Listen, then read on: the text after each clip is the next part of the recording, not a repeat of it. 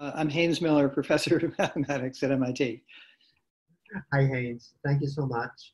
Uh, and so uh, you are, uh, what courses uh, are you teaching this semester?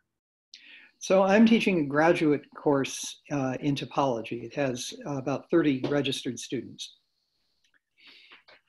So on, I think it was May, March 10th, Rafael Reif sent a message to all of us telling us that we are going to go on, we're going to shut down and then go online March 30th how did you feel when you got that message?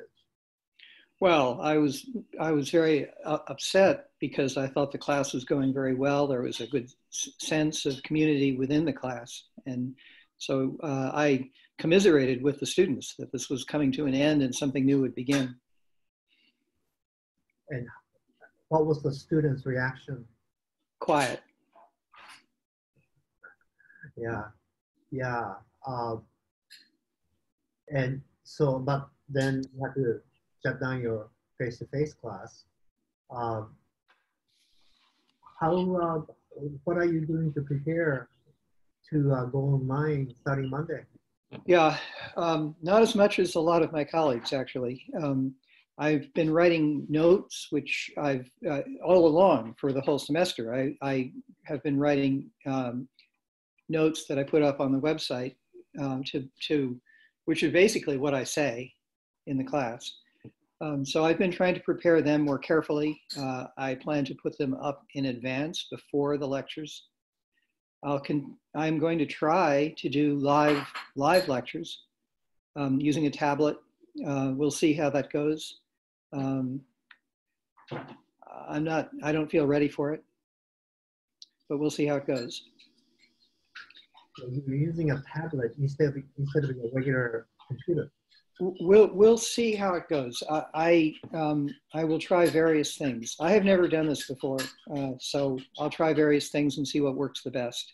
Uh, just a simple um, camera might work. You know, a, a cell phone camera on a piece of paper might be the. So I'm I haven't yet really made experiments with it. I'm behind, um, but we'll see what works. I don't want to use, so there are various um, specialized display um, programs for mathematics that are used in conference presentations and things like that um, that are very formal and I don't want to go there. I don't want to turn it into a, a beamer presentation because uh, I want to keep so one of the things that I'm really interested in is um, whether this uh, online uh, and very interactive version of online education will actually be more improve um, feedback from students, improve the act, activeness of the classroom because um, I like I like some of the features of Zoom. We're using Zoom, of course, um, like the chat uh, possibility. Uh, I think is it can be used very successfully. You know, I've been running this this teaching seminar for years now, online teaching seminar um, using Zoom. And one of the most effective things that people have done is to pose a question and ask participants to just write some responses into the Zoom, into the chat uh, window. And so you see all, many different participants coming up with many different ideas, and they're all nicely recorded. Everybody can read them. Uh, it's a it's nicer, it's better than if you had people raising their hands in a, in a classroom and making some response. Um, and you have a record of it as well. So uh, I'm, I'm hopeful that, um, that we'll learn um, ways in which this online approach can be actually improve uh, our, our education of course, in a, in a regular face-to-face lecture, if you see students passing notes to each other, you know, you, you'll probably put a stop to it or you'll be irritated. Exactly. Now you don't, uh, or whispering to each other and, and audibly whispering to each other. And you don't need that because you can chat privately to people using this as well. I, I gave my first uh, Zoom lecture uh, last week uh, to a group uh, of uh, faculty members, actually. And I noticed that as I started to talk, right away people got into the chat yep. uh, and started to uh, you know, react to what I was saying and cracking jokes and so forth. At first, I was sort of, it was jarring to see that. And I realized that they were actually really engaged with what I, what I was saying. Yeah. One, one of the uh, difficult features of Zoom is that if you share a screen, you cannot see the chat. So there are ways around that. You can have two monitors open on your desk, two logins to the same Zoom account, and um, then you will then you can have one of them showing the chat and the other one showing your screen, for example. Um, you know, the faculty meeting. Did you did you attend the faculty meeting last week? Was it? I did not. Well, it had 250 people. How about that for an MIT faculty meeting? Uh, that's remarkable.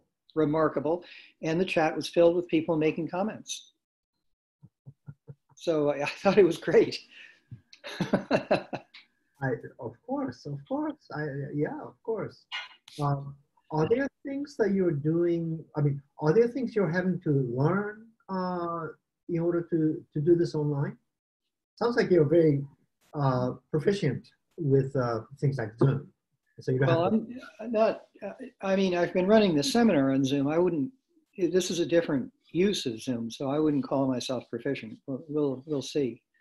Um, I guess I'm feeling that um, I'm not feeling particularly anxious about it. I think that it'll something will work out, but I don't think I have all the answers right now. So mathematicians uh, and also linguists like to use uh, uh, not just a whiteboard, but actually blackboard. We, we mm-hmm. love blackboard. Mm-hmm. Uh, yeah that going to be a challenge? yeah, I, I miss the blackboard. I miss moving around also.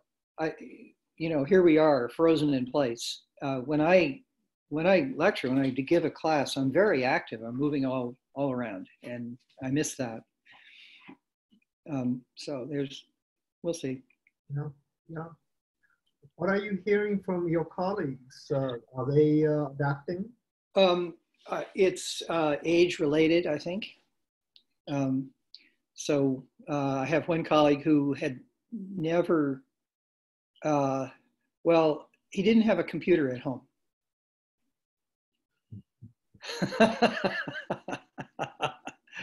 so he has a learning curve. but he knows how to use a computer. He does, he sits at his desk at his office all day long every day using a computer, but he's never had one at home.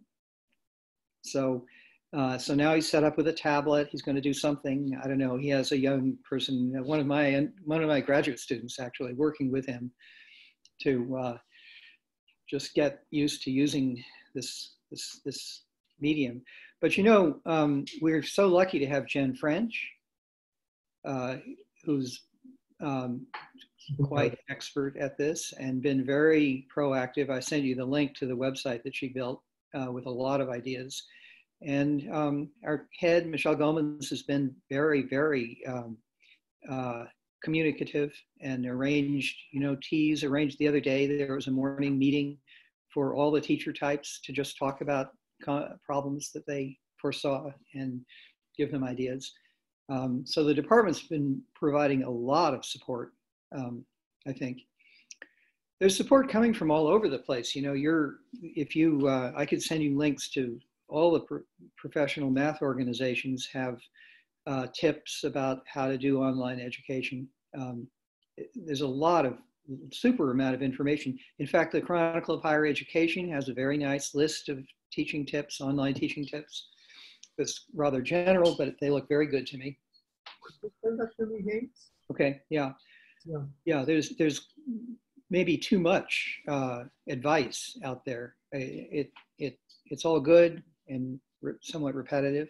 Um, but um, and we're going to have another um, electronic math education seminar on Tuesday with the um, head of the, what is she? She's the director of education at the American Math Society. It will be the presenter, and she will present uh, um, 10 top things to keep in mind when you do this kind of education and have a discussion about them. Uh, that list is being created by something called uh, Transforming Post-Secondary Education Mathematics, uh, which I'm a, I'm a member of that. Um, but it just I'm just illustrating that there's many many different um, organizations that are that are trying to provide support. This is interesting. I know that the MIT has been uh, uh, providing support uh, at various levels, uh, departmental uh, and also open learning, where I am now. Mm-hmm. I had not heard of uh, an entire discipline coming together as you just described with math. That's that's very impressive. Yeah. Yeah, I think um, math has come a long way in the last um, eight years, maybe, um, in being higher higher education math and getting serious about um, learning learning the trade, being um, explicit about um, about the importance of education. Uh, coming back to MIT, and since you're uh, teaching a graduate course, it's not so relevant. But you know, as you know, MIT put out this policy of uh, for grading, uh, mm-hmm. pass no record, I believe, mm-hmm. like like the first freshman. Yeah. Well, on that, whether I, I, think it's fantastic. I think it's fantastic. I think uh, this is one of several ways that MIT has really uh, been uh, a national leader, and, and, it's recognized as such um, by the math community, for example. That um, many many people that, that i talk with worry about what are we going to do about grades? What are we going to do about exams? We know what we're going to do about grades. It's a huge huge advantage and to have that uh, available for to just click the switch and and something that's already been thought through comes into place that's really terrific. Uh, uh, other places many other places are way behind us in, in that respect. There are faculty members who say that uh, it's it's really liberating. Uh, one, they don't have to sweat out, you know, is it B plus or A minus. But even beyond that, uh, educationally, they can think of assigning things which they otherwise wouldn't be able to assign. Very open-ended yeah. Uh, assignments. Uh, yeah. Definitely, definitely. I mean, that's one of the uh, one of the positive things that could come out of this is people, people getting more creative and and uh, think more carefully about what assessment is, is, supposed to be doing.